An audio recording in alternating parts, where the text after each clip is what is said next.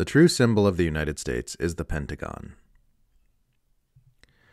The real symbol of the United States is not the stars and stripes, nor the bald eagle, nor the Statue of Liberty, nor even the mighty McDonald's logo. The real symbol of the United States is the Pentagon. The Pentagon should feature centrally on the U.S. flag.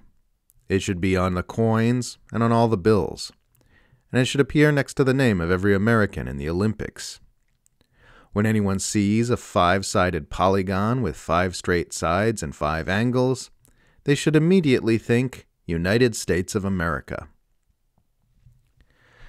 There is nothing more representative of the most significant thing about the United States than the Pentagon.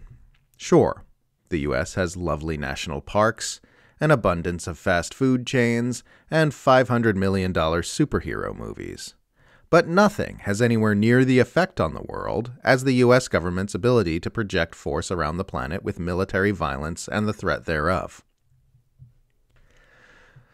That is the main thing that makes the US unique among nations, after all.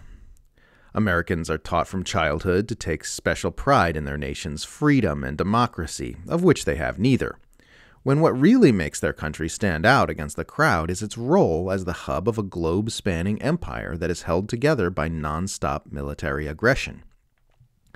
The five sided building, which houses the U.S. Department of Defense, formerly called the Department of War until someone noticed that it's a bit too truthful, is the perfect symbol for that empire.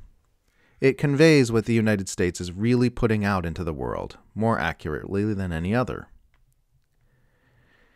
It's easy to forget that you live in the hub of the most powerful empire in history when you actually live there, in the same way it's so calm in the eye of a hurricane that you'd hardly know your world is being ripped apart around you.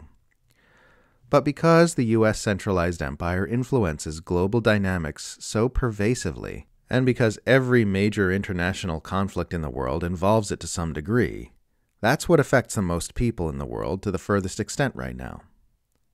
How much money they have, whether they get to feed their kids today, whether they'll be torn to shreds by military explosives tomorrow, whether they'll have to watch everyone die in a nuclear holocaust next year. So, as far as humanity is concerned, the most distinctive thing about the United States is its empire, and the most accurate symbol for that empire is the Pentagon.